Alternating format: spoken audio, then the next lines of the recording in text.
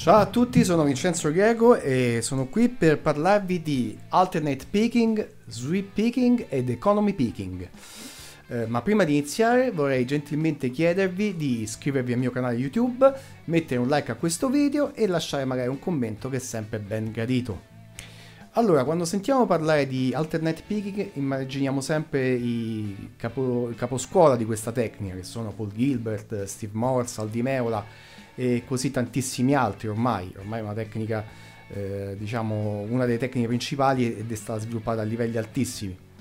La, invece quando sentiamo parlare di economy picking e sweep picking spesso eh, diciamo ci viene in mente Frank Gambale ma come è stato detto per l'alternate picking anche lo sweep picking e l'economy picking è una tecnica praticamente utilizzata da tantissimi musicisti e diciamo in tutto il mondo ormai. Sono tecniche sdoganate e conosciute benissimo Bene, oggi cercherò di farvi vedere la differenza di esse e come studiarle praticamente. Mm, diciamo di come eh, si differenziano, eh, ma soprattutto eh, come applicarle, diciamo.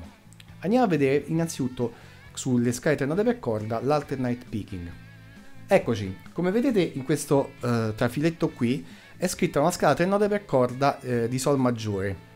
Questa scala è stata scritta con l'alternate picking a terzine, quindi praticamente verrà eseguita eh, con eh, diciamo eh, tre note per battito e con la, eh, con la pennata alternata, in questo modo praticamente.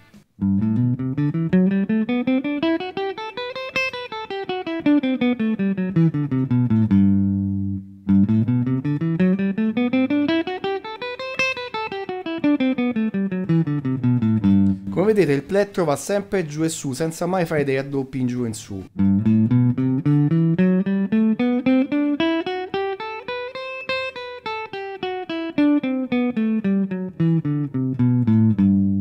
Qua bisogna stare sempre attenti al peak slanting che è prendere l'inclinazione del plettro. Quando scendiamo deve essere messo in modo che riesce a saltare la corda per evitare questo.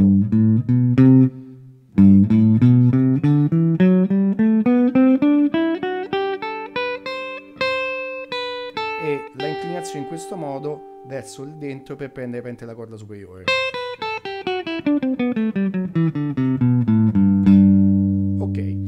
Questo è appunto eh, l'alternate pinging che abbiamo visto poc'anzi, che è appunto quello che vediamo in questo trafiletto scritto.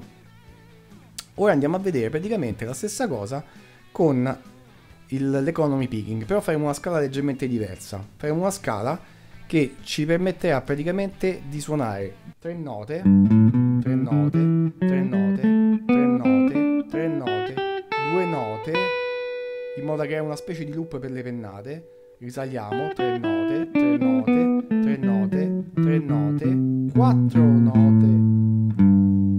Qui. Questa è la tipica, è presa dal book 1 di, eh, o il book 2 non mi ricordo, di Frank Gambale, lui suonava appunto le scale tre note per corda in questa maniera praticamente, quindi con tre note fino alla, alla prima corda, poi due note, poi risalendo su quattro note sulla, sulla um, sesta corda.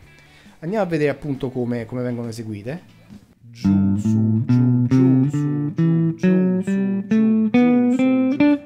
Plettro praticamente nell'economy picking asseconda la direzione eh, ascendente della scala, quindi va verso il basso quando cambia corda, quindi alternato sulle corde quando le note sono sulla stessa corda. Giù, su, giù, giù, su,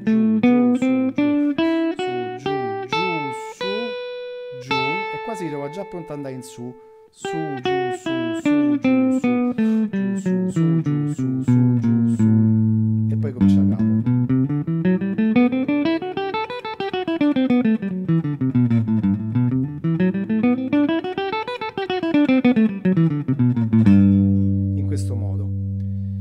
praticamente si crea un loop su questa, su questa scala in modo che ci, ci, ritroviamo sempre con la prima pennata in giù e poi subito pronto per risalire la pennata in su. Ok, invece adesso andiamo a parlare dello sweep picking. Lo sweep picking invece è una tecnica che principalmente viene applicata sugli arpeggi ed è lo stesso principio dell'economy picking ma si basa praticamente su diciamo meno note sulla stessa corda si basa appunto sugli arpeggi ora vi faccio vedere praticamente su questo arpeggio di La minore come lo eseguirebbe Frank Gambale o comunque la maggior parte dei chitarristi diciamo che hanno dimestichezza con lo sweep picking. L'arpeggio è questo. faccio giù, su, giù, giù, giù, giù, giù e risalgo su, su, su, su,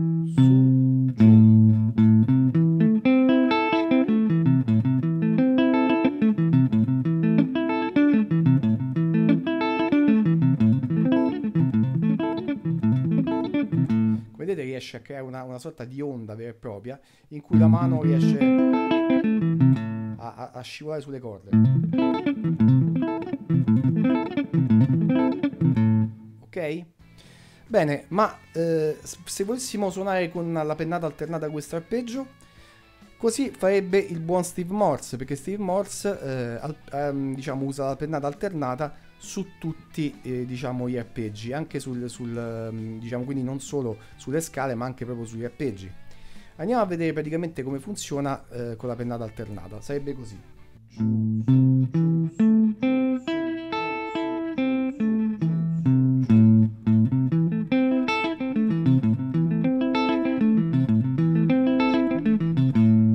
Questa cosa praticamente è molto meno agile dello sweep picking che ci permette di fare cose. Perché almeno a me non ci riesce, a Steve Morse probabilmente ci riesce a creare dei movimenti molto più fluidi.